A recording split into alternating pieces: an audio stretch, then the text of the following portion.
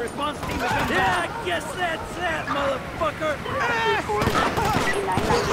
on um, San Andreas Avenue in Middlesboro,